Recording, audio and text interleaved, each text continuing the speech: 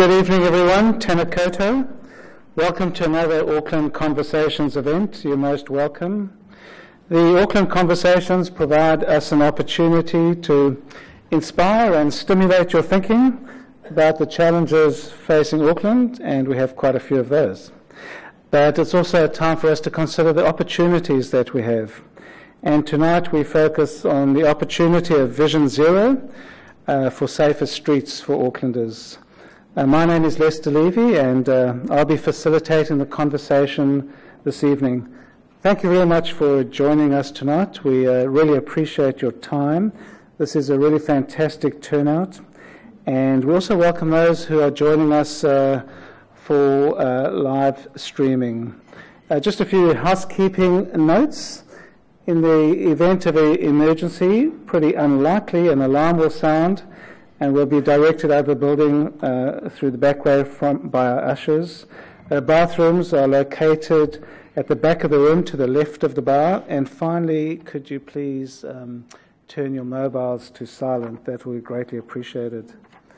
Uh, we really would like to acknowledge our event partner this evening. I feel slightly conflicted as I'm the chairman of Auckland Transport, and the event partner is Auckland Transport. Uh, but we're very thankful to Auckland Transport for for their wonderful support, and uh, yeah, and, and, I could spend hours on them, but I won't.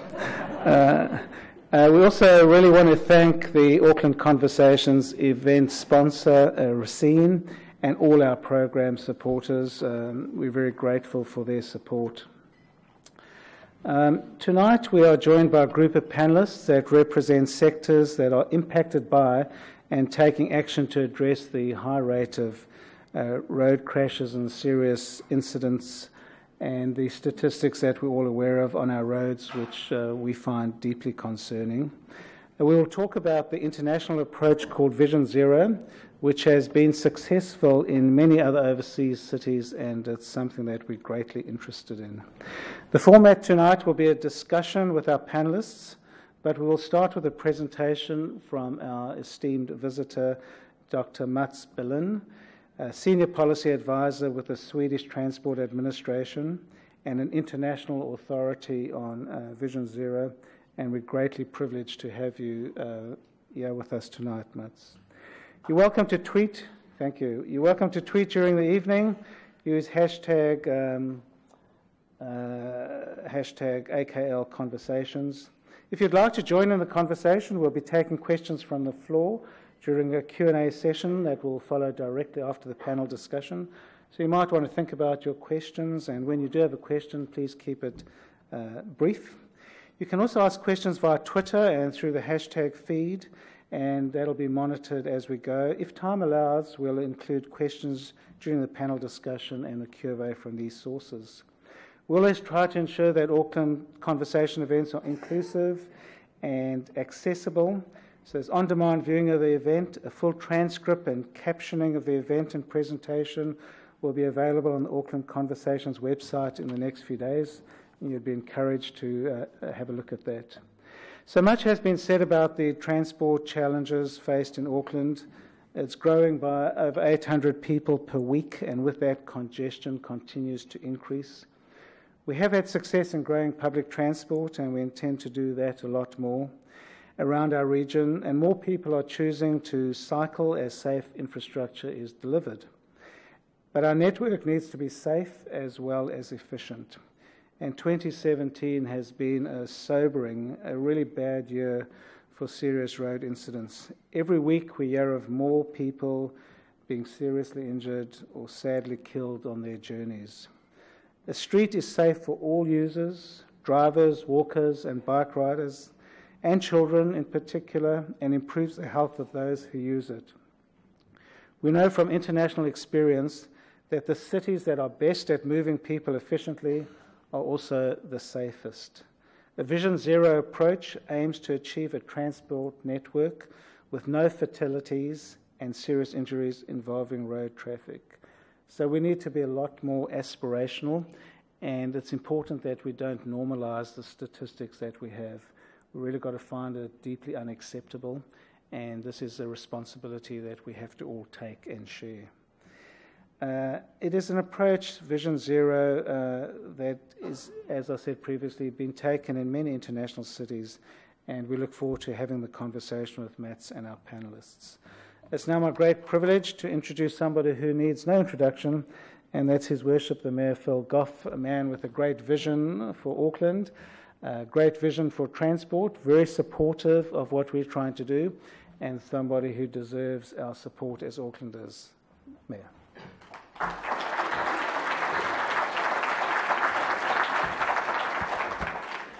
Uh, inga mana, inga reo, uh, e rau rangatira ma tēnā koutou, tēnā koutou, tēnā tātou katoa. And good evening and uh, welcome to Auckland Conversations tonight. Um, can I begin with an apology? Uh, I've managed to get myself triple booked tonight uh, three different speeches, but fortunately all in this building. So uh, I hope, Mats, I can hear the first part of your presentation before I need to, to rush off to, to the next uh, function I'm attending. Uh, I regret I can't be here for the whole thing because I think what we are looking at tonight uh, is a critical issue uh, for, for Auckland. It's literally a life and death issue. We celebrated for a long time a fall in the road toll. There was a time when 800 people or more a year were dying on our roads, and we thought we were on top of the problem. But in the last four years, the steady decline in road fatalities uh, has turned around, and we've seen a worsening trend. That is nothing. That is something that we cannot be complacent about that is something that we must address, and that is why tonight's meeting is so important. Could I first of all acknowledge our uh, Master of Ceremonies, Dr. Lester Levy? Um, there are a lot of reasons why Lester is the ideal person to be the chair tonight. He is, of course, the chair of Auckland Transport, and he understands the transport issues, including road safety in Auckland, as well as anyone from that perspective. But he's also the Chief Executive Officer of three district health boards, and he understands the consequences, the human and health consequences of failing to get on top of our road toll. So, Lester, I'm looking to you, no pressure. I'm looking to you to make the recommendations of around the actions that our council and our government need to enact in order to reduce and hopefully eliminate our road toll. I'd also like to welcome tonight the chair of the Waitemata Local Board, Pippa Coom, and Pippa and I were at a function last night and she was giving me a preview of tonight and I know that she is an absolutely strong advocate uh, for the program that we are talking about tonight, Vision Zero.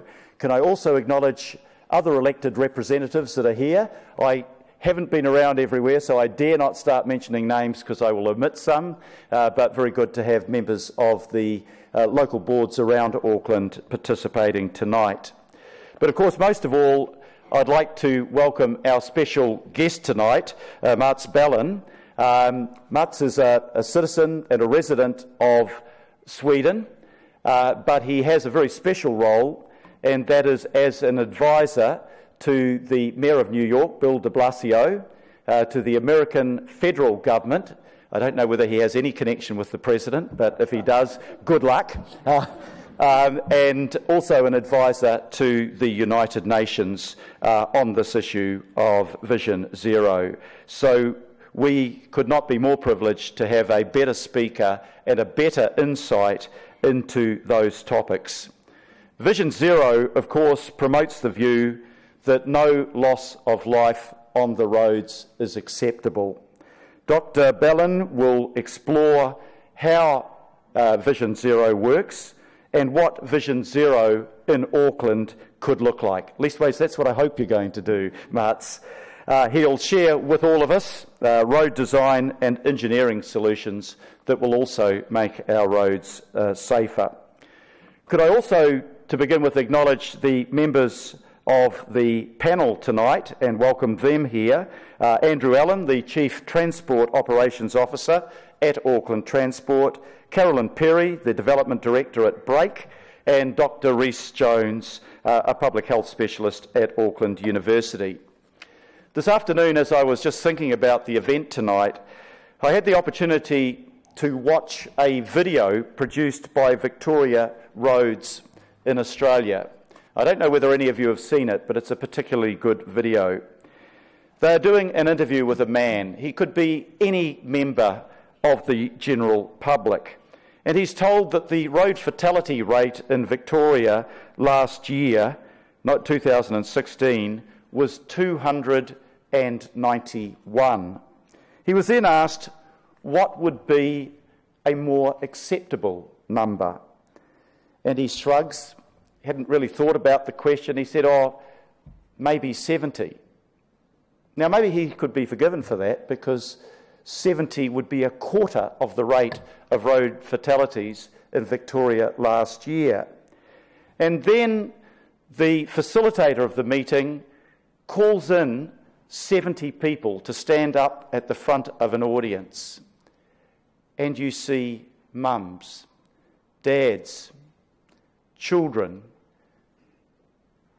you see grandparents, you see grandchildren, you see members of the family, and you see their faces. And they are not statistics, they are human beings.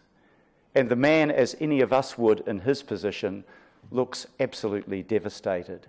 And he's asked the question again what would be an acceptable number? And he gives the answer that I hope all of us would give tonight and that acceptable number is zero.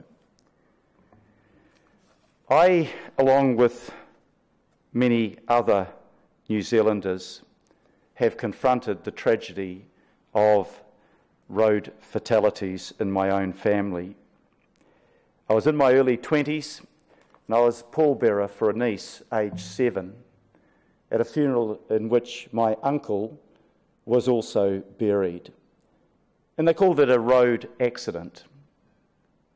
But it wasn't an accident. He and his daughter were killed by a person that chose to drink and then to drive. It was no accident. It was almost an inevitability at the amount of alcohol that he had consumed. It was the deliberate act of drinking and driving and that is one of our major problems speed on the road. And probably, if we're honest, we're all guilty of that. It's about inattention, it's about poor road design and other factors. All of them lead to disastrous consequences. I looked up the statistics for Auckland. In Auckland, one person on average a day gets hit by a motor vehicle while they're out walking. And every third day, that person dies or is seriously injured. Last year in Auckland, there were 46 people killed on our roads and 610 seriously injured. These are not statistics, these are human beings. And every one of those 46 people who died was an absolute tragedy for their friends and their family. There's a lot that we can and must do to prevent this, and tonight's discussion, I hope, will point to the directions we need to follow to achieve Vision Zero. It's not that it hasn't been tried elsewhere. Stockholm and New York have both shown just what can be achieved when we approach this problem with absolute determination. There are, of course, costs associated with implementing Vision Zero, but you can guarantee that those costs are nowhere near the magnitude of the human and social costs of the carnage on our road and even the economic consequences which run into billions of dollars. So thank you very much for coming along here tonight. Uh, thank you, Mats, for being our special guest speaker tonight. And thank you to all of the panel members. And I'll ask you to join with me in welcoming those people to tonight's Auckland Conversations. Nō reira, tēnā koutou katoa.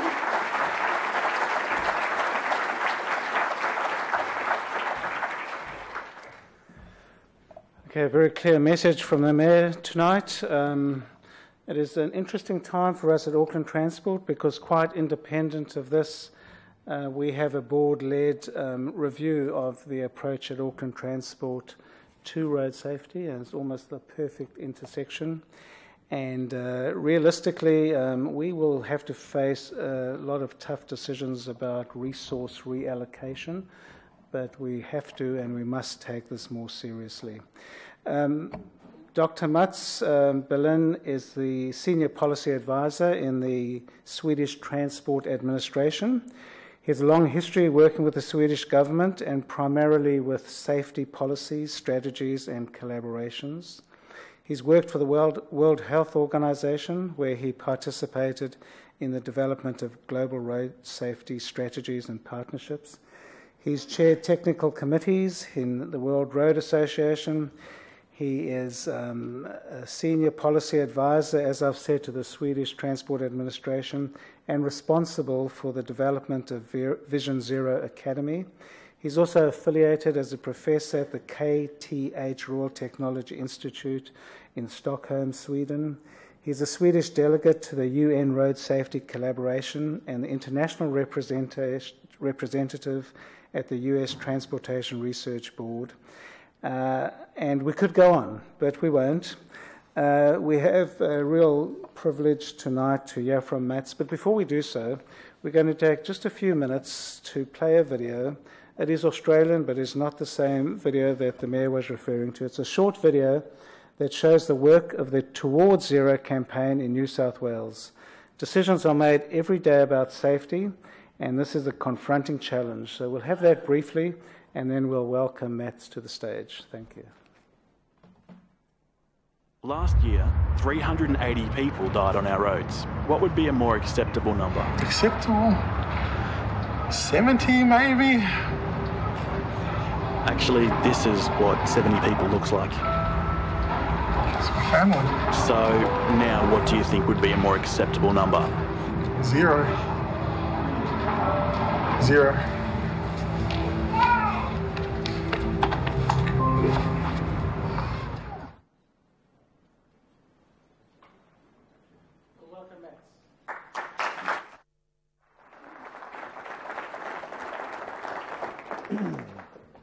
Yeah. Thank you for all these warm and welcome words. It's great to be here in New Zealand. I've been here since uh, Tuesday last week. I've been in Nelson and Auckland. And, uh, and New Zealand has been a fantastic host for me during this time, and I learned a lot from, from you also, guys. But I tried to be here to, to um, share some of the experience that we have now from Sweden and from other countries. And I must confess that my collaboration with the US started before this, uh, the administration we have in, in place now. So, so we wait and see what's happening actually. But there are lots of uh, interesting things happen all over the world, I would say. Yeah, I think there is a kind of culture evolutions going on around, around the world. Or I could call it a global revolution. You know, when we introduced the cars in our society, uh, we, we thought that it's up to every individual to survive in a harsh environment. But then most countries, at least in the Western world, we start to think that no, we have to do something about this, this problem. But we thought that we have to accept some victims. It's a kind of price that we have to pay for our mobility. But now, around the world, you see more and more, just like the film you, you, you just saw, that people get into it can never be accepted that people get killed and serious injuries within our transport system. And I think in 1997, when the Swedish parliament adopted Vision Zero in Sweden, that was the first time when that was really uh, on the agenda. And today, we in Sweden, we celebrate the 20th anniversary with, with uh, Vision Zero. And, but it's not only about an ethical imperative. Vision Zero is actually it's a paradigm shift in the way that we work with safety. One way for me to explain these differences is to uh, talk about how we used to do it, the more traditional way to work with safety. And the traditional approach to safety, the problem that we try to solve is a problem with accidents. And we know from in-depth studies that 90% of all accidents or crashes is due to human factors. That is kind of mantra, and it's been there since the introduction of the car. When I see some of the Uh, inquir- committee inquiries from 1920s in Sweden, I can read this. You know, they say that 90% is due to the human factors, and therefore, in most countries in Asia, we have put the ultimately responsibility on safety on us and individual road users. So if something goes wrong out there, you can always find someone to blame. And our strategies has very much been focused on trying to creating the perfect human being who is always doing the right thing all the time. And our strategies has also been very much uh, based on the idea that people don't want safety. We have to educate them, we have to enforce them, we have to regulate them. And we don't think that we can eliminate this problem. We are quite happy if we can step by step reduce the risk, but we think that this is a price that we have to pay for our mobility. There is a kind of optimum of fatalities and serious injuries. And I would say that Vision Zero as a policy challenged all these aspects, all these dimensions when it comes to our policy. The first thing, in a Vision Zero uh, framework, the problem that we try to solve is not the problem with the accident per se. The problem that we try to solve is the problem that people get killed and serious injuries. That is our focus. And the reason why people get killed or serious injured, according to our Vision Zero approach, is, due, is, is because people are people. We have young people, we have old people, we have all kinds of people using our transport system. And people mis- make mistake. And instead of hoping that we can create this, this perfect human being who's doing the, the right thing all the time, we, we have to accept that we have to create the system for humans instead. And people are fragile. We know quite a lot now how much kinetic energy our body uh, tolerate without any fatalities and serious injuries. So let me take an example. If you have a typical four-lane intersection and you have a problem in that intersection, the traditional approach to solve problem in that intersection is to put up a traffic light. And the number of crashes will be reduced due to that traffic light. But the typical scenario is that someone, by mistake, go against the red light, and due to the high speed, the outcome will be very severe. But if you have a roundabout, the crashes actually might increase a little bit because it becomes a little bit more difficult to drive in a roundabout, but those who will happen will be less severe. So a traffic light and a roundabout might actually be the difference between life and death. So therefore, in a Vision Zero approach, in framework, the ultimately responsibility for safety is put on us as system designer. Of course, the road users still have a responsibility, but if something goes wrong, it goes back to us as system designer. That's why also, for example, in Sweden, we started to move a problem, just like the mayor said, drink and driving. We start to move that problem from a be uh, only a behavior problem to a design problem. So we think that in the future you will have some kind of device in your car that will prevent you from drinking and driving, al- alcohol and other kind of technology. And this kind of technology will be as common as a seatbelt. So we move that problem to, from a behavior problem to a design problem, I would say. Vision Zero is also very much based on the idea that people want safety.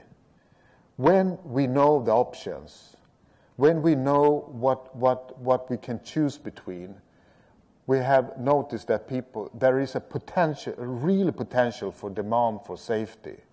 And I think the best example we have on this in Europe and Sweden is our Euro NCAP, the, the car assessment program. Because usually, in, traditionally and historically, the industry and the government, they have negotiated about a kind of standard for, for safety for, for the cars. And you know, when you have that kind of nego- negotiation, you will, the, the things, the outcome from that kind of discussion will be a minimum of standard. But as experts, we know that some of our cars, they will really just be above that standard. And some of them will be really safe. But as a consumer, we don't know. We don't know this. So this car assessments program really tells that this car is five star and this car is one star. And, and when we tell people about this, we see how the market dramatically changed almost overnight, I would say. And the same when it comes to urban traffic. When we start to talk with parents and others that using the, the system every day, uh, we can see a huge demand actually for safety. And of course, in the long run, we would like to eliminate fatalities and serious injuries. This was actually what the Swedish uh, parliament adopted in 1997. But you all know that is a white paper, uh, words on a paper. It's a total different story to get from words and ideas to implementation. Unfortunately, we have been able to do, do that in Sweden. And I will now give you some example on how this kind of philosophy have, have a dramatic impact on how we work with safety both in the urban area and in, in the rural area. And in the late 90s, it started with the municipalities, I would say. Uh, this is a typical uh, Swedish municipality. At least you have a sidewalk and uh, you have the zebra crossing, and the default speed in this environment is 50 kilometers. And no one really thinks that there ain't any problem in this situation. They think it's okay, you know. But we know as experts that if you get hit by a car in 50 kilometers, the risk that you get killed is more than 80%. And if you get hit by a car in 30 kilometers, the risk is less than 10%. So it's a huge difference between 30, 40, or 50. But we, as a driver, we don't understand this, you know. We can drive in 30 or 40 or 50 or 60. We have no perception at all when it comes to kinetic energy. We don't really understand that. But if we could transform this situation to something that we really understand, the risk with height, it would look like this, you know. So you can imagine what kind of demand on, on um, interventions if people understand this, you know. And this zebra crossing is extremely dangerous, actually. And this is what we actually have every day, every time we are out in the road transport system now. And the whole um, to take care of this safety now between this unprotected road user, we, we, it's only up to us to negotiate about safety in this situation. So when we start to talk with our road engineers in municipalities about this, this problem, because basically this is really the scientific evidence, the scientific base for Vision Zero, these, the, these risk curves. And we start to talk with uh, municipalities, we, saw, we can see a dramatic uh, change of how they do their business, I would say. If you go back in late 1990s and, and compare how it looked like now, you will see lots of speed bumps, lots of uh, 30 kilometers uh, zones.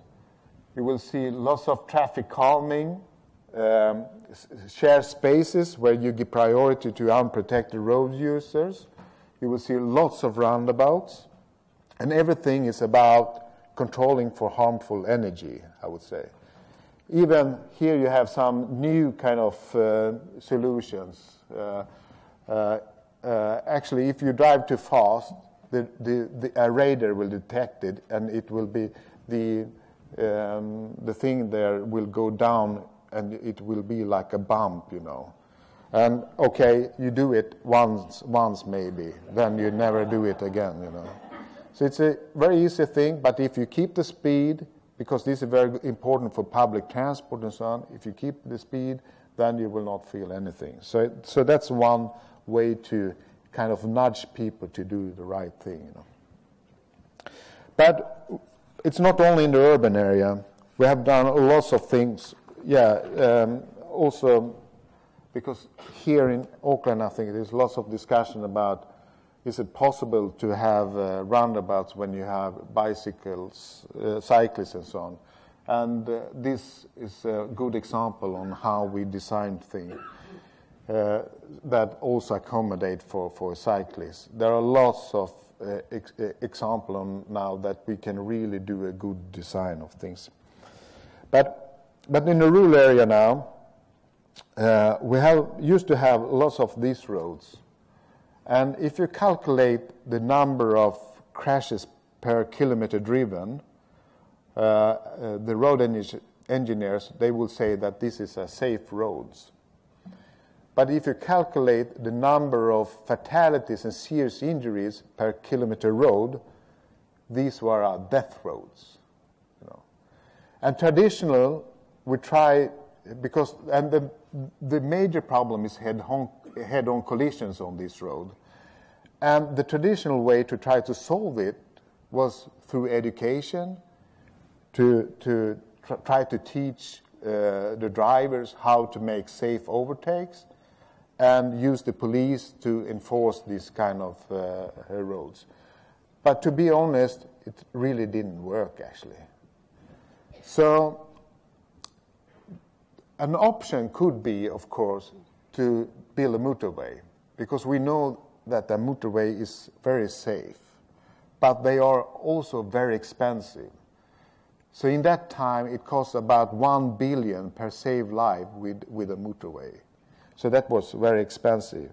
But we come up with an innovation. We call them two plus one road, and I think you have some example of that here in, in New Zealand. And basically, sometimes you have two lanes, so you can make a safe overtake, and some, sometimes you have one lane, and then you go in the one lane for one kilometers, then you get uh, two lanes. As a matter of fact, the, the, difference in safety between those, those roads is, is about 90%. So this middle barrier will reduce the number of fatalities, serious injuries, up to almost 90%. And in the beginning, when we start to implement these, they cost us about 30 million per saved life instead of 1 billion if we have built the motorway. So this is an ex- excellent example on when we take this idea about Vision Zero and controlling for harmful energy into reality, practice uh, solution. But of course, we can't put up middle barriers everywhere.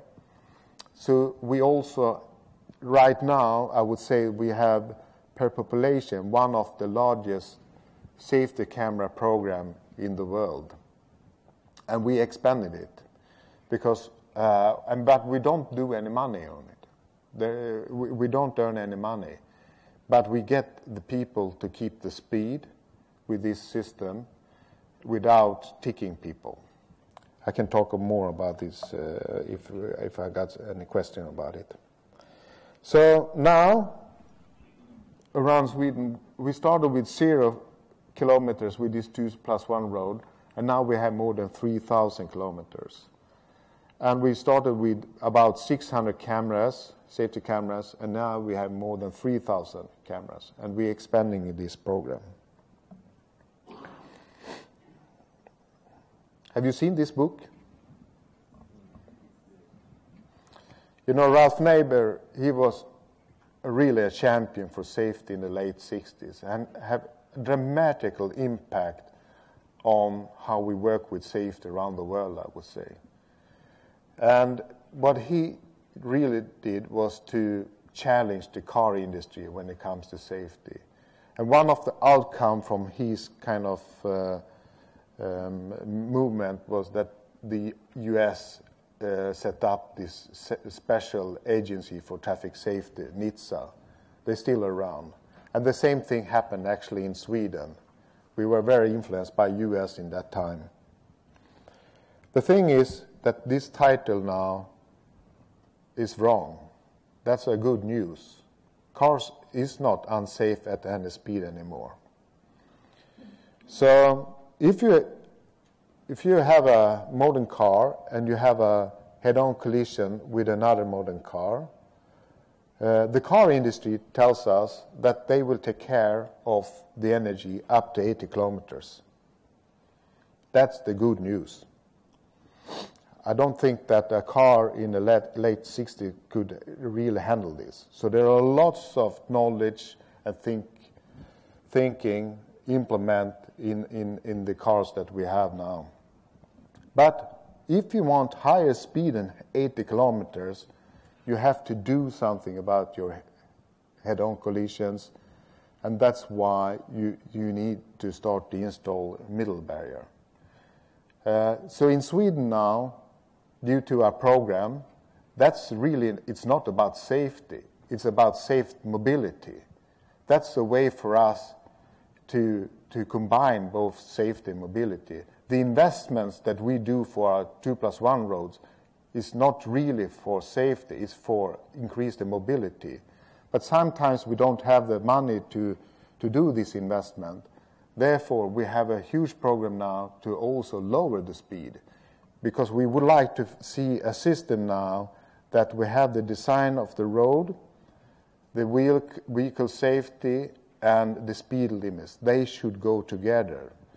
And we also working very much with the, uh, with the urban area now. So we probably will lower the, the um, urban default speed from 50 to 40 now due to this.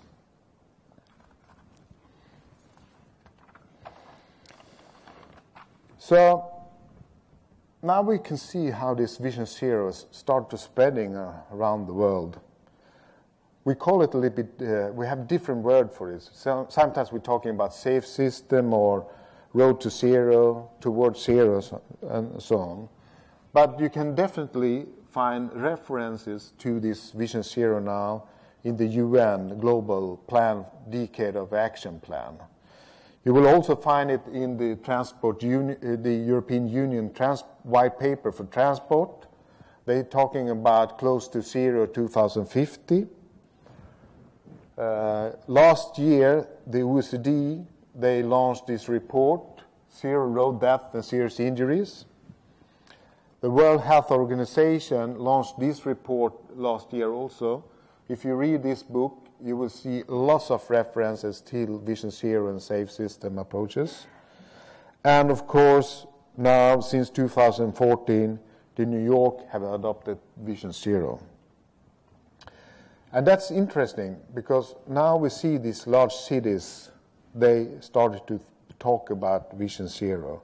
And in US, you know, uh, you will now you have Washington, Boston, uh, San Francisco. There are lots of big cities that actually have adopted uh, uh Vision Zero. And we can see that this also re- gives results. For example, in Sweden now, if you take Sweden in general, um, we have gone from about seven fatalities, six uh, fatalities in 1997, to less than three fatalities per 100,000 inhabitants. And no one really thought that, that that was possible because we were already, when we started to implement our program, we, we were one of the best in the world already in that time. And you think that there are a kind of dimension of return if you do things. But you have to do things differently. Business as usual, yes. But here we have re- reduced the number with more than 50% from a, being one of the top performers and all, uh, um, um, even from that perspective, have been able to, to reduce the number. And Stockholm, when we started, was 2.3 fatality per 100,000 inhabitants and now they are down to 0.4. And New York, who's a little bit later has started to work with these things, also have shown results. I was asked to give some references to my uh, what I think about New Zealand, Auckland, and of course, I've only been here for little bit more than one week, so, so it's a little bit difficult for me to have a say about that. But um, uh, Andrew from uh, Transport Auckland, they took me out for for out in the network a little bit, and and uh, uh, this I guess is a quite typical kind of road in in, in uh, New Zealand, and uh, you allowed 100 kilometers on this road. I would say that will not happen in Sweden anymore. Um, probably this road would be 80 kilometers together with uh, safety cameras, probably. Um, it will not be middle barrier because it's too narrow, I think. But, but uh, that's the way that we should think about it. And when I get into the to, to the city, uh, it strikes me when when you definitely, I think that Australian and also, uh, sorry, New Zealand, but also Australia and US, your society is much more car dependent that, than we are in Sweden and in, in Europe. But it's also quite interesting to see, for example, if you as a pedestrian, if you cross a road here in, in the city, you know, and you just take one step and then you get this red um, uh, sign coming out you, you know. It feels like they hate you. and I wonder sometimes if I was an elder, peop- elder people or an old people, you know. Uh, I'm quite fit, still quite fit, so I, I can manage to, to, to uh, um, to, to get over over the time, you know. But but for older people, it must be a, very difficult actually. But there is something in, in the way that we, and I think we, we, you will of course find it also in Europe, but not in, in the same extent, where there has been so focused on the, the the cars and and and uh, um, uh, and, and the car society. But the good news is that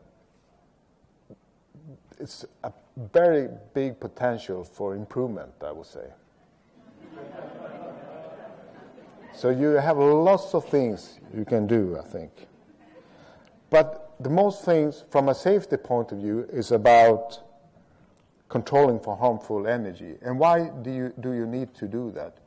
Because safety is not about safety. Safety about mobility. And I think we all now is in a situation where we really need much more diverse transport systems. It's not about safety, it's about environment, it's about health. We would like to get people more on, on bicyclists uh, and become cyclists and, and, and walking because that's good from the health and it's good from the environment point of view. But safety is a barrier for that to happen as a parent, I don't want to put my kids out in an inherently unsafe system.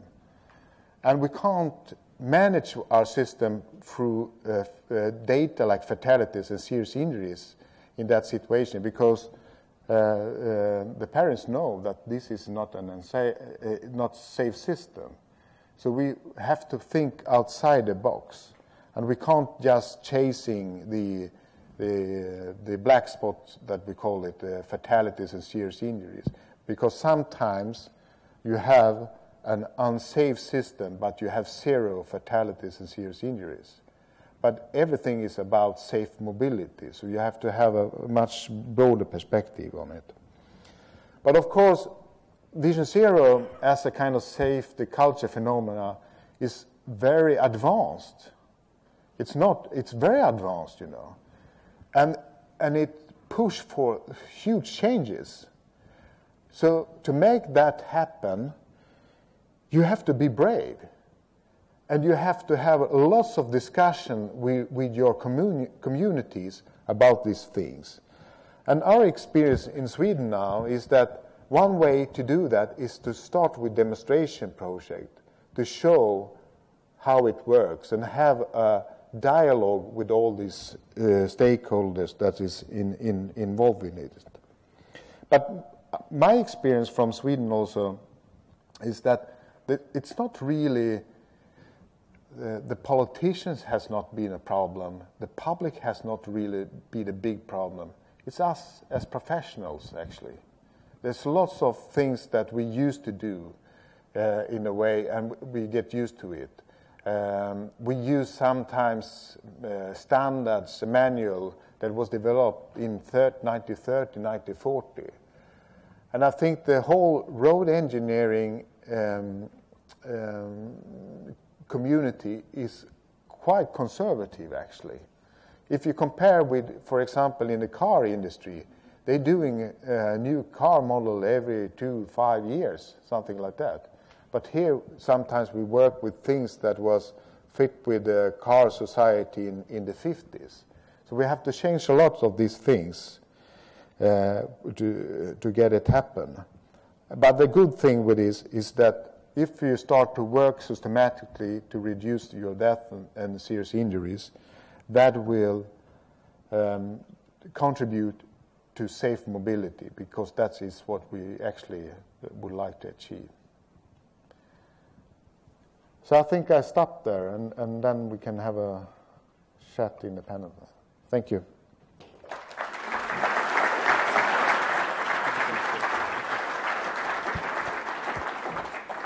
Thanks very much. Uh, that is definitely a narrative of possibility. Um, I think that we do have a problem in New Zealand that we're hardwired to accept convenience over safety, so safety must trump convenience. But I'm going to ask Andrew Allen, Chief Transport Operations Officer from Auckland Transport, to join us. Uh, Caroline Perry, National Director of Brake, please join us as well. And Dr. Rhys Jones, a public health medicine specialist and a senior lecturer in Maori Health uh, from the University of Auckland, to join us as well. So we'll constitute the panel. Um, I'll lead off. We'll have panel discussion for the next 20 minutes, and then we'll move to questions from the audience. Um, I was pretty struck by uh, some of the interventions, particularly, Andrew, the one relating to speed. Uh, if we lower speed limits on the road network, uh, won't that just add to congestion, the very thing that we're just trying to tackle? Your views, please. Uh, just checking that's obviously all working. Thank you, Lester. Um, I think it's probably very fair to say that really lower speeds are certainly caused by congestion, but the converse is seldom true. So I don't believe that lower speeds, as of right, cause congestion on our networks. I don't believe that that is the case, to be honest. Um, in fact, there are some examples where, and I'll, I'll, I'll illustrate one of those. We have now, for the last four or five years, been rolling out a 40k speed zone around schools. That's a, a, a great initiative that's delivered us a 37% reduction in accidents involving children walking or cycling to and from schools, um, and really has had little or no impact on congestion whatsoever. Um, I think congestion, to be honest, is caused by a number of factors. Um, the capacity of the network to take the vehicles, the type of intersection treatments that you have on your network. Um, so those factors, I believe, are the ones that contribute primarily to our congestion. Speed is seldom a factor that we consider in terms of creating or generating more congestion. Um, yeah, and I think perhaps Thank we'll you. leave it at that. Uh, Matt did allude to uh, the real elephant in the room when it comes to congestion, and that is car dependency.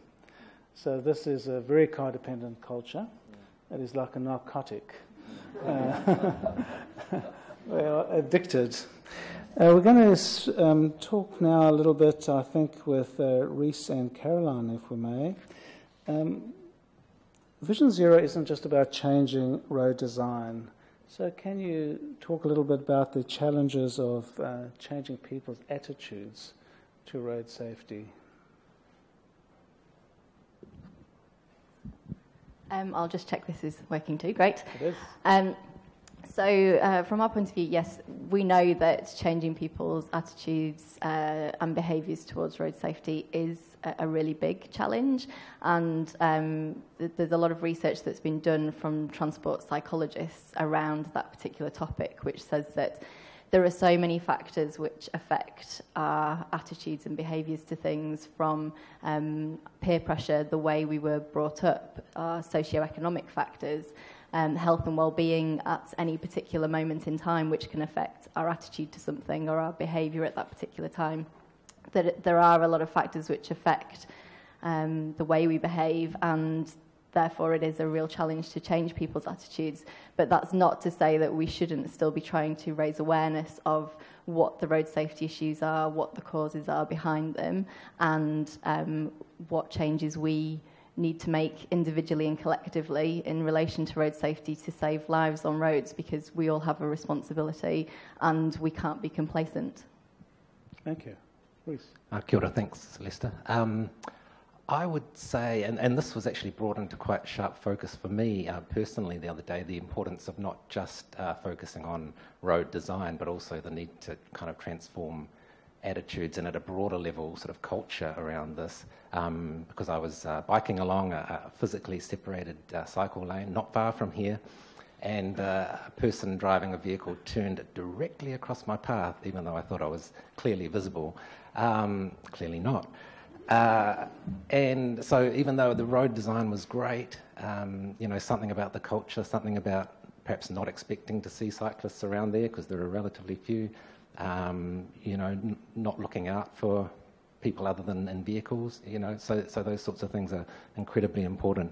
Um, and I think coming from it, at it from a public health perspective, as I do, uh, I think about things like, uh, you know, we've had a long experience in public health with trying to change people's behaviours around certain, you know, types of health behaviours, like smoking, for example. Uh, and we've worked out eventually that uh, hammering people with messages to stop smoking and uh, trying to educate people around this is um, really not working. And, and what we need to do is change environments. And so once we get smoke free environments, once we get um, higher taxes on cigarettes, uh, we get you know, restrictions on advertising and sales of, uh, of tobacco, then we start seeing the improvements. And I think there's, there's huge parallels with, with the transport environment uh, that we need to, to focus on. Uh, not just the physical environment, but also the sort of social cues, uh, the social norms that people have, and, and so you know we can get that change in culture, even though that's you know sounds sounds easy rolling off the tongue, but uh, is a long-term sort of process. But we won't get it unless we make a good start and be intentional. But that's a good segue. Thank you, Rhys, uh, for my next question, which is for Mats. What is the role of good urban design in helping to deliver Vision Zero?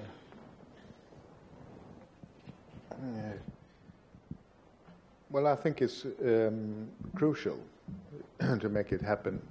as you said, it's sometimes it can be very difficult to to change the behavior and that sort of thing. And and, and uh, the urban design, well, it's basically it's about to um, influence the behavior, but through a more um, change in your environment.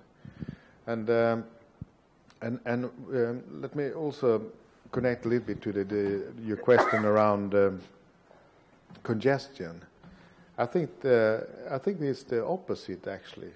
Uh, I think if if we make uh, a safe urban environment, the, then that will itself promote uh, more cyclists, more walking, and uh, so that will uh, and more public transport, and that it's, itself will have a good impact on congestion. So, so I think it's the opposite actually. Uh, sometimes, particularly from this part of the world, we look at the uh, Scandinavian countries and they seem very progressive and they seem to be able to make uh, steps that we don't easily make. Is there something particular in the culture of the Scandinavian people that we could learn from? Is there a particular gene for responsibility?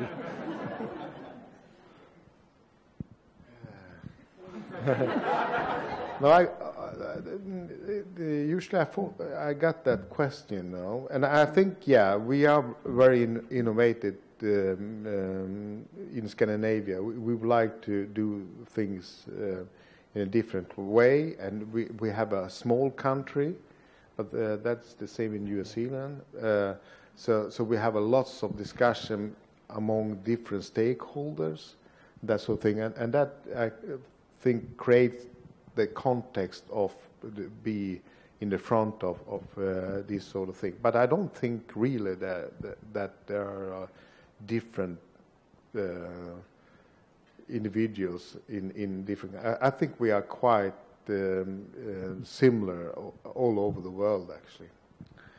Well, that gives great hope for us. Uh, Andrew, there was a gentle or not so gentle challenge from Mats earlier about your profession uh, transport engineers. Uh, I think if I was to interpret what he said, is that you hardwired to orthodoxy and old fashioned textbooks. Is that correct? um, I'd say it probably would be correct, but we are evolving.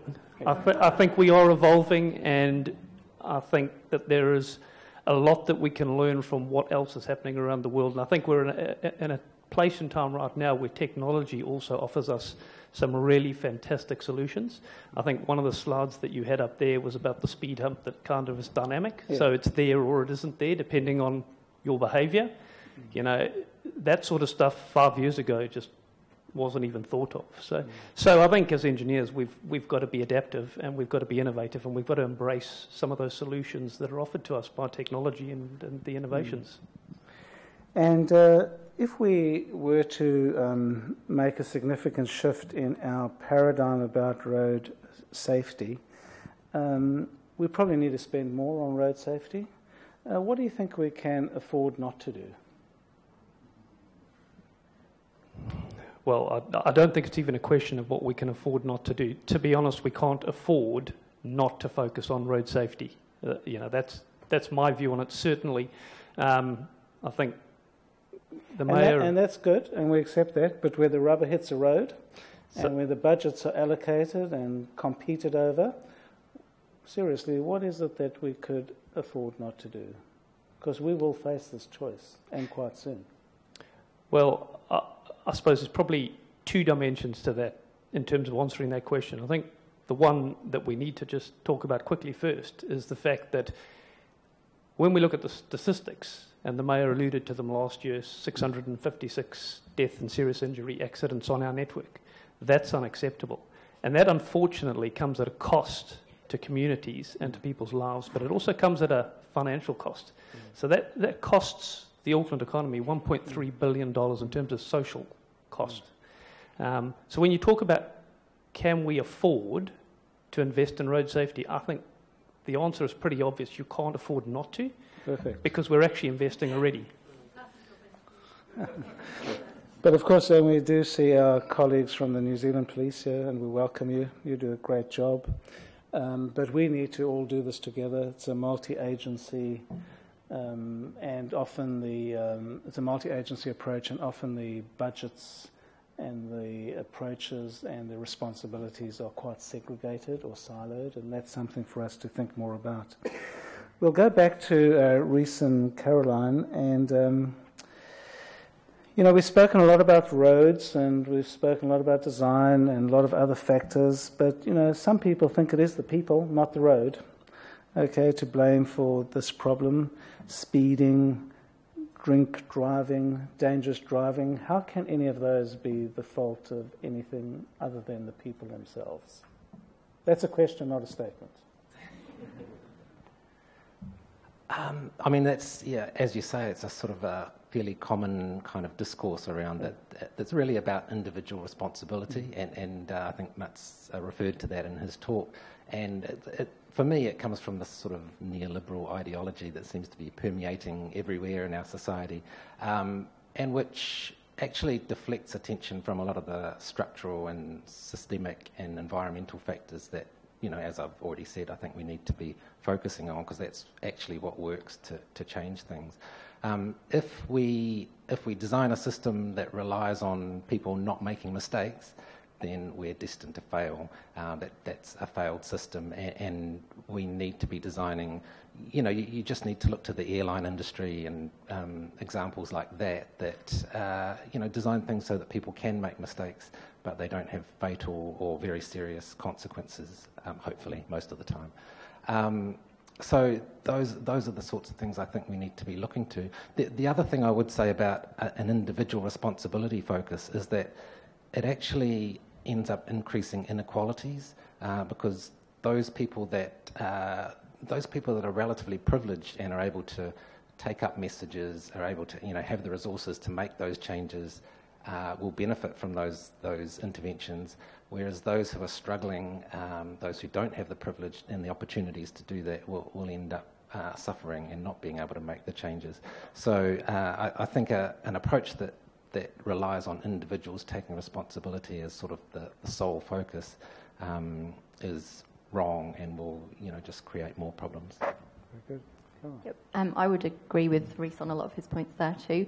Um, and to to add to that, I think um, as Matt said in his presentation, the, the difference with Vision Zero is that shared responsibility and the fact that when something does happen, whilst it may be have been caused by the road user, is actually going back and looking at is there something within the design and the system that we could change and improve to mitigate um, something like that happening in future, prevent it from happening in future. We work with families who've been bereaved in road crashes and we see the devastating consequences of those crashes for families.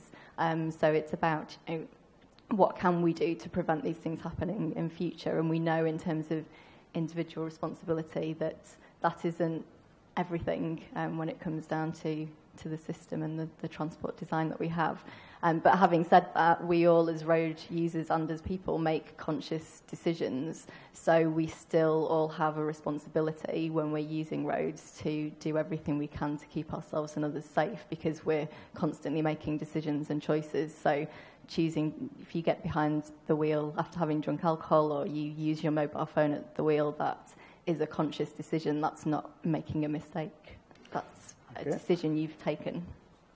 Thank you.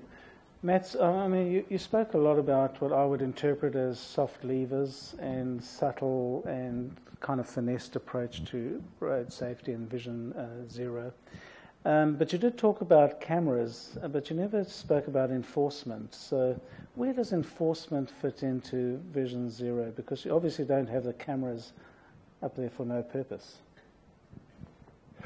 Yeah, well, enforcement is extremely important, especially in the in the short run, mm. because we don't have a safe system. So we still have a system that we are very dependent on that people doing the right thing all the time. So, so police is important from that perspective. But what we try to do in the more uh, long run, we try to creating something a little bit more sust- sustainable. And of course, we, we always I think, need the police. But but we try to, uh, as a, I had a, one example when it comes to to drink and driving, for example, that that uh, um, we can really solve this problem with, with technology. But the same thing when it comes to speed, you know. But i but we will not start with us as individuals. We, we don't start with us. Uh, in Sweden, we call a, a, typical Swedish person for Svensson. That's a, no, a very common uh, name. And we will not start with Svensson. We will start with organizations. We will start with those who professional using this system. So, for example, now um, uh, municipalities they are responsible for for school transport in Sweden, and 90% of all uh, bus school transport buses in Sweden they have installed alcolocks because the municipalities now they procure this kind of thing. So if the transport companies would like to make business with the municipality, uh, they have to install this kind of technology. And of course, we don't have a lot of uh, drunk uh, bus drivers that driving around with uh, with our kids, but th this is not. The focus is is really to start to implement things. So this is the first step, and they will probably pay a little bit more for this kind of technology. But when we see these things spreading, then the price for this technology will go down so, so, so I think that uh, the organizations within a society has a great, uh, it's extremely important to make this happen. So in uh, the Swedish Transport Administration, for example, we have a travel policy. So if you have a, if you are the uh, manager and you have a, a, a car on duty, uh, that car will have alcohol it will have intelligent speed adaptation system and so on. So, so, so we really we recognize that we have problem with behaviors and that sort of thing, uh, but we would like, in the long run, to solve it with technology. But before we are, have achieved all these things, we still are very dependent on enforcement, of course. So we, we're really down to the last couple of minutes. I'm going to ask each panelist just to uh, we'll start with Rhys. If you had a magic wand and it came to road safety, for each of you, what are the first two things, very briefly, that you would wish for with your magic wand for road safety? Wow, that's a tricky one. Um, well, I mean, can I say Vision Zero? Is that yep. uh, something very brief? Perfect. What else? Um, I, and I think when, when I'd say Vision Zero, I think I'd see that at a at a sort of policy level, yes. but also that being kind of socialised within our culture, because I think uh, we have a kind of problematic relationship with uh, motor cars and uh, and you know transport environment in general. So I think changing that car culture. Perfect. Caroline, your magic wand, your wish.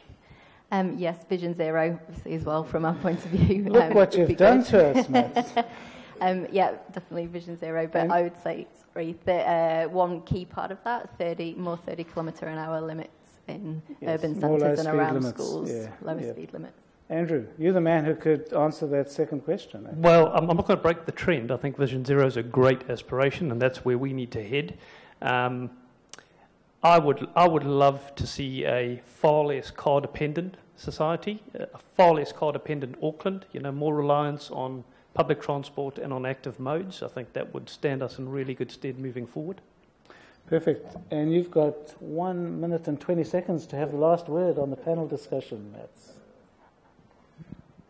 Well, from my perspective now, coming from Sweden, see, and, and I, I have been involved in this process from the beginning, actually. Uh, and uh, 20 years with this implementation of Sweden. And sometimes when I talk about this, it sounds like a very smooth, easy process. You know, everyone is happy and doing these things. But that has not been the case, you know. There are lots of conflicts, there are lots of things that we need to solve through this process. Uh, the good things now is that uh, uh we are uh, lots of uh, different countries, different jurisdictions have to take this up and start to do things. So, so we have lots of learn from each other, I, I would say. So this is an excellent topic area for international collaboration.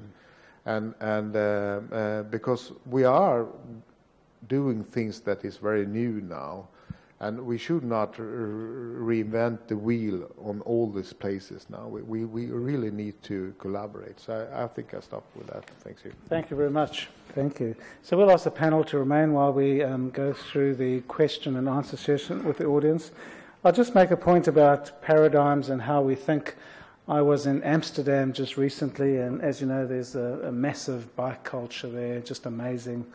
And I was in a cab as it happened, and um, we were waiting, and all these bikes were just going by, and you know, just had to wait and wait and wait. And I said to the cab driver, "Does this bother you? You know, waiting so long for all these people on their bikes?" And he looked around at me, sort of semi-dismissively, and he said, "Not as much as if they were all in cars." and and. And I thought, you know, a massively mature mindset, uh, and you know, that's something I think that we could learn uh, a lot from. So we're going to open the floor to uh, questions, and we have a question over there. If you could keep your questions brief, please, that would be appreciated. Um, I just wanted to raise one of the issues that is sort of paradoxical, where we fix a piece of rural road, rural highway, by taking out the wriggly bits and making it straight, and then people drove at even greater speed and have even more gory accidents. So the, the life is full of these sort of strange paradoxes, but this is one I've noticed particularly with our urban highways, uh, sorry, rural highways, um, that there seems to be no ultimate solution because people will just mm. take advantage of the improved road mm. to go at an even greater pace. Andrew. Thank you for that. Um, I, I suppose probably two statements there. I think if you're going to straighten out your roads and encourage higher speeds, then they need to be designed in a way that's that's more forgiving. And I think some of the slides that were, I'm not sure that oh, it is working. Um, I think some of the slides that were up earlier probably illustrate the sort of measures that can be put in place to make higher speeds more acceptable and more forgiving. So that's the separation, it's the barriers, and perhaps the run-off road protection, so that if you fall asleep at the wheel, um, you don't end up driving into a river or off a ravine, that sort of thing. So that's, I think it's possible to make straighter rural roads safer and, and have higher speeds that are acceptable. But equally, um, I think a lot of our rural roads are relatively well self-explaining. To your point about the windy bits, the conundrum we've got in Auckland and probably New Zealand for that matter is we have a habit of putting 100k speed restrictions onto those windy roads, and we saw the Riverhead Coatesville example up here earlier. Mm-hmm. Um, we're at a great point in time now where we've actually got the ability to make changes in that space, so we can accept that those roads don't need to be straightened out, but we do need a lower speed environment in those situations, and we do need an environment that's more forgiving. So, those, to me, those roads are actually self explaining their geometrics and their design dictate and lend itself to a driver understanding that you need to drive slower. Perfect. And we do have a lot of rural roads in Auckland. You have a question? Thank you very much. I haven't heard you mention anything about older people. Now, I am now an older person, and I get the bus when I can, but I haven't got a bus shelter. So imagine what it would have been like yesterday. Where I come, where I'm living, we had 25 millimetres of rain or hail. It was still around three hours later. So without a bus shelter up there, it is very difficult. Now, otherwise, where, when we come into town, where can we park? My husband was unable to walk very far at all. In fact, he became completely unable. But we had used to carry a little wheelchair in the back of the car. And so he would get there and use the wheelchair. But those places are getting fewer and fewer. So that would limit him altogether from getting anywhere, with, unless he can park somewhere close. He's no longer with me, so that's all right. I haven't got that problem. But please, do consider, as people are getting older and older here, we're not all able to get on bikes. I can get on a bike, but I'm not very um, wanting to go anywhere particularly, just for pleasure. Okay, no, no thank you. So, um, Matt, you did touch on, uh, you know, you thought that uh, crossing the road if you were older, it could have been quite difficult. How do we build in um, the right environment for our seniors, of which there are going to be more and more in the next 20 years in Auckland? The, those aged over 65 are going to double, those aged over 75 are going to double. So over 65 is going to go from 220 to 440,000. It's a lot of people. We really need to keep uh, our seniors in mind. How do we get Vision Zero to be meaningful for our senior citizens? I think in in general, if we plan and put the vulnerable road users on the top on our agenda, that will be important for all of us. So, so we have to change the way that we give priority to, to, uh, to things, I think. Uh, so, so that might be one of the answers, yeah. I guess it's not happening quick enough, but intelligent mobility is going to be one of the most liberating um, new, um, I guess, technology um, applications for older people. Uh, it's just going to give them amazing opportunities for transport and effective transport and transport right to their door. Uh, that is just a few years away, but not too far. So um, we need to ensure that we have our most vulnerable citizens at the top of the list when we think about road safety. Do we have the next question, please? Just over there. Thank you very much. Um, last week at the um, Institute Traffic Conference in Nelson, uh, Matt spoke uh, and all the safety partners were given some information on the uh, highest fatality rating in New Zealand currently, and the worst issue at the moment. One in four fatalities involve trucks. Now, they don't necessarily involve the driver, and we should be thinking, and I hope that the panel can perhaps discuss that, how the, um, the mass component of travel is affecting our, our fatality rates. Who'd like to take that one on? No one jumping to their feet right at the moment, but we'll give them a few seconds. I suppose one of the comments, there's John out there, isn't it? Yeah, I suppose one of the comments I'd, I'd, I'd make is certainly, and I don't know the detail around all of those statistics, and I wasn't at the conference, um, but we do certainly have an, an issue in terms of exposure for cyclists in that space, in terms of being pulled under wheels and trucks and, and not having the side protection. And I think that there's quite a bit of work that's being done at the moment at a national level to try and encourage the freight industry and the truckies um, to come to the party in terms of side protection on, on trucks to, to at least provide some sort of benefit for, for the cycle exposure, the cyclist risk exposure that we've got um, at the moment. Very good. Uh, further questions? Thank you. Hi. I'm just interested to know what the, how um, the panel think that automated vehicles will impact road safety in the future and what planning is being done around that.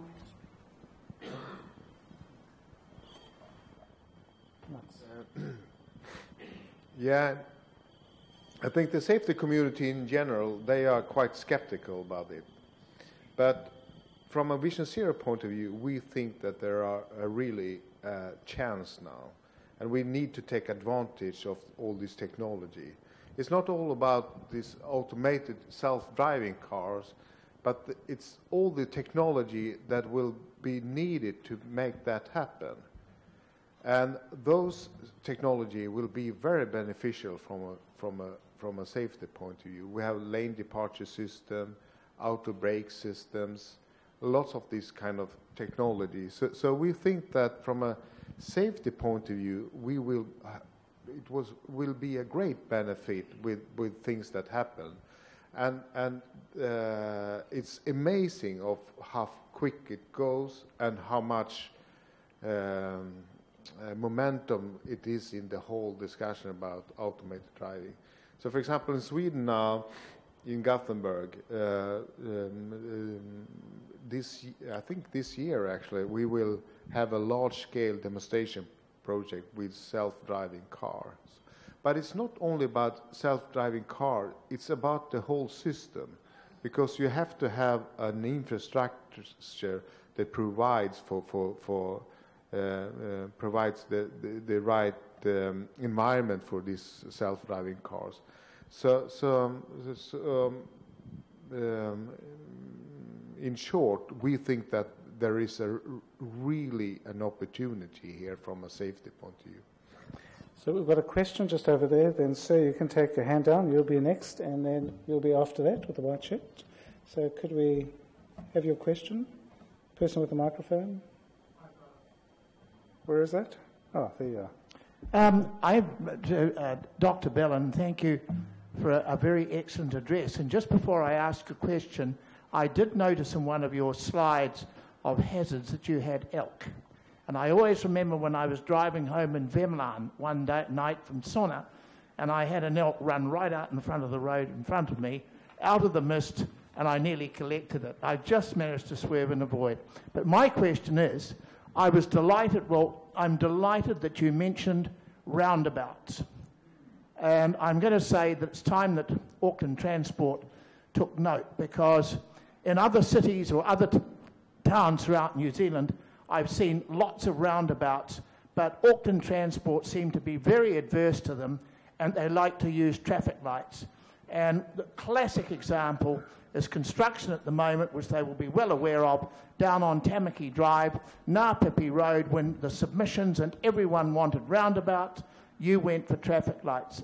And they cause, traffic lights cause more problems, and I see roundabouts seem to ensure the traffic flow steadily, less accidents and less problems. And I think you've made a very important point tonight. Andrew? Auckland Transport, take note. Thank you, and duly noted, obviously.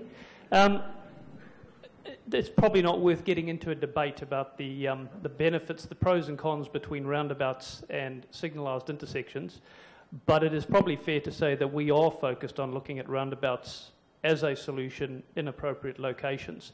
But roundabouts aren't necessarily the right solution in every situation.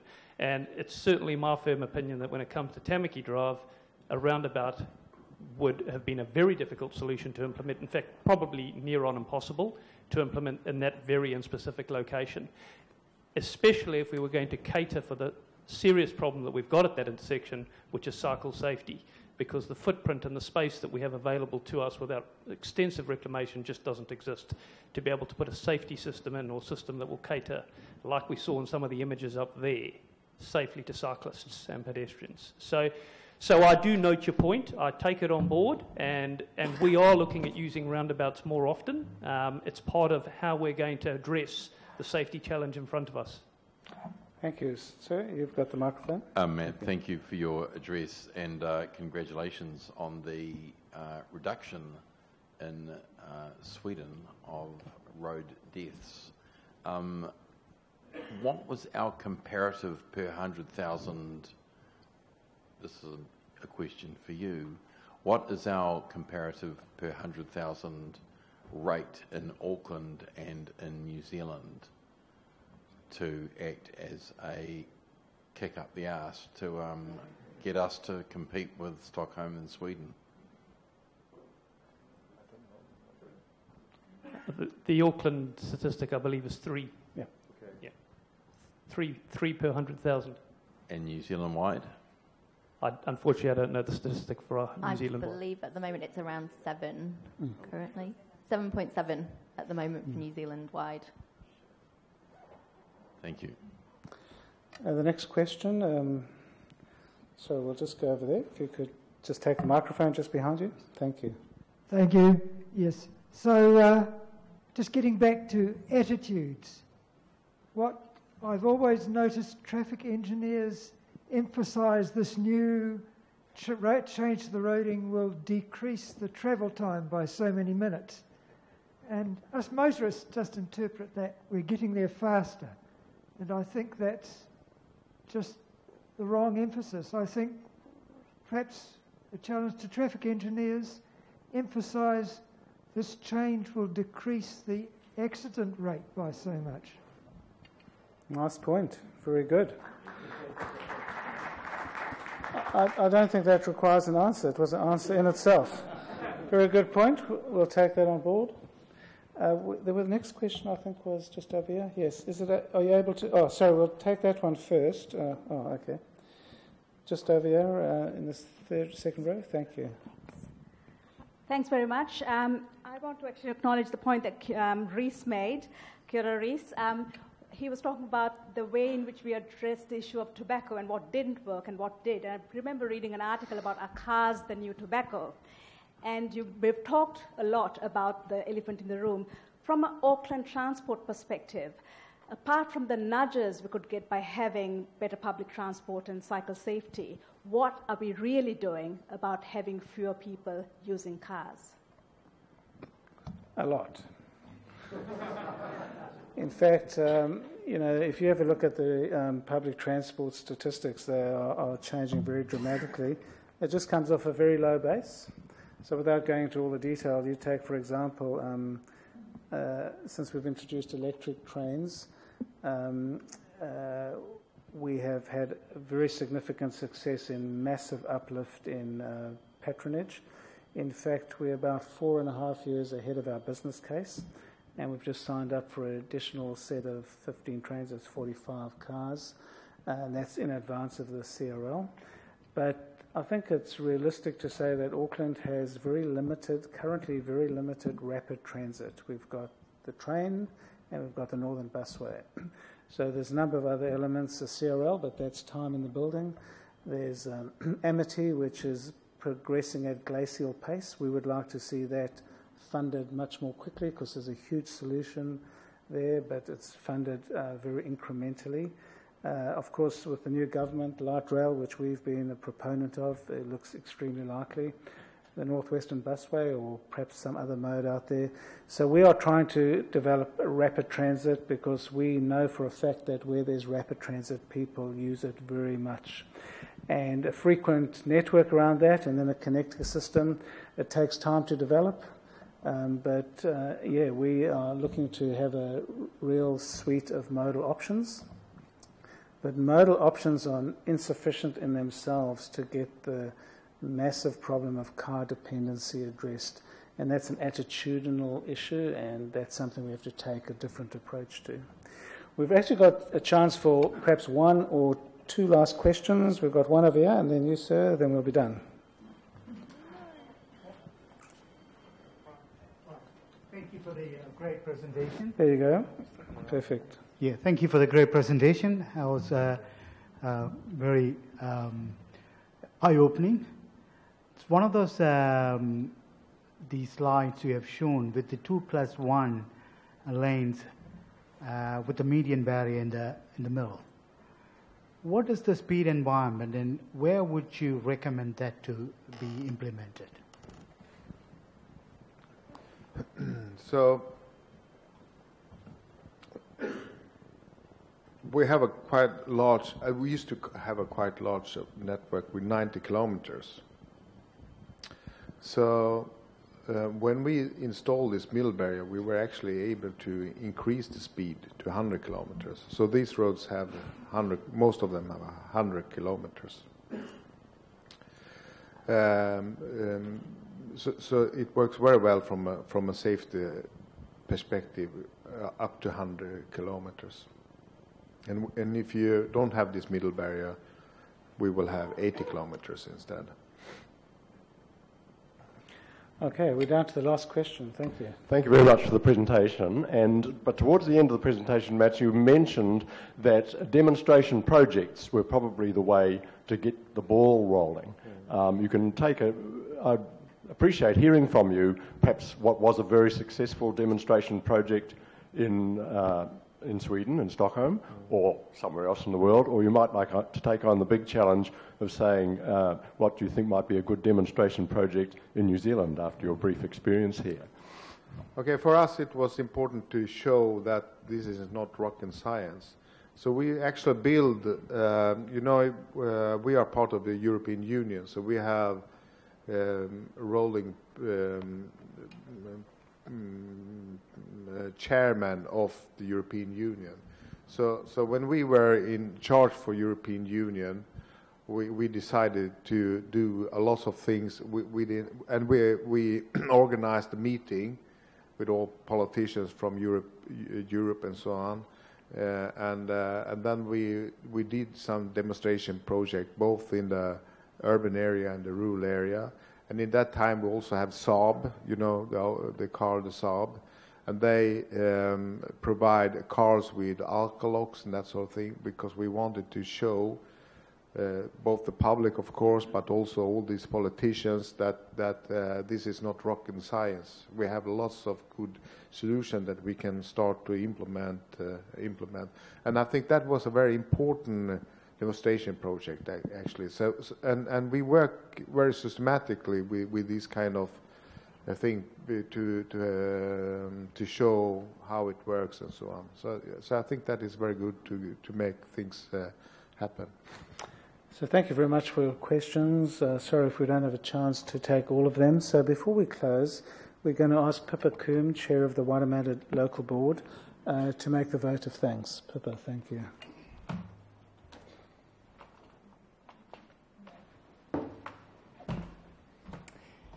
Ngā mihi nui koutou. Kia ora, everybody. And thank you, Lester, for the invite to um, close the Auckland Conversations this evening and to give the vote of thanks.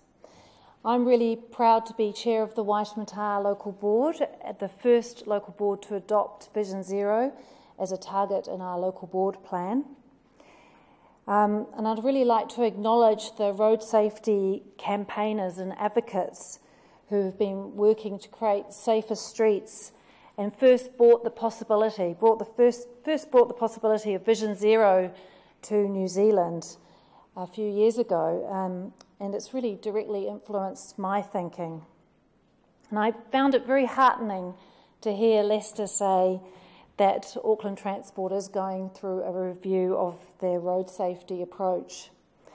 Um, this is a really positive sign, and I think there are many positive signs of change is coming not just at Auckland Transport, um, but at the government level. Um, I met um, Dr. Belin at um, Trafinz last week, where he was the keynote speaker, and acknowledgements to the um, Deputy Chair of Trafinz.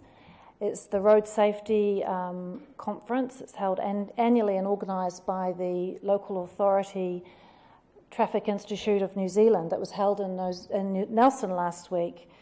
And the, particularly the NZTA officials there really gave us a teaser of what we can expect from the new government that wants to make a difference. And Minister, um, the new Minister of Transport, Phil Twyford, has asked for safety and Vision Zero to be part of a new transport action plan. And so I just think this is amazingly perfect time that Matts-Åke is, is here in New Zealand. So I'd really like to congratulate whoever made that happen. Um, I think the stars are aligning. So, what I really take from Matt's presentation, his very straight up presentation, delivered with a very special Scandinavian dry sense of humour, um, I think it's really easy to understand. And we, um, the politicians, the planners, engineers, leaders in this room, police enforcement, it's good to see you here as well. I really think the whole road, road safety community, we know what we have to do. And as we heard from Matts-Åke, we have to be brave. Change can be difficult, and we will be in the firing line, and Auckland Transport is certainly experiencing that quite a lot at the moment as we go through huge change in Auckland. But safe mobility for everyone, I'm convinced, will bring social, environmental, and economic benefits for our communities. Did I mention health there as well, Rhys? Absolutely.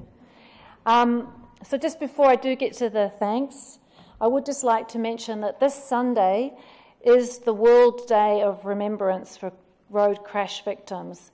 And Brake, with Caroline Perry, it's great that, that Caroline's on the panel, is organising at Silo Park at 3 pm is a stand for zero. So if you'd like to come along and be part of a, a giant zero that we're going to create down on Silo Park, we invite you all to come along. And you can find the event details on Facebook. Um, I'm sure everyone here has been touched by, um, in some way, by a crash. And um, the mayor made his own personal um, reference to that. So I just wanted to say, and I said, I, I thought to myself, I'm not going to do this if I can't say it properly. But I will be there standing for my dad, who was um, exactly the same age I am when he, when he was killed 20 years ago in a crash that would not have happened if a safe system approach incorporating Vision Zero was in place. But we will do that remembering on Sunday. Right now, I really would like to end in a positive way with a big homai te paki paki for all the people that we must thank for this evening.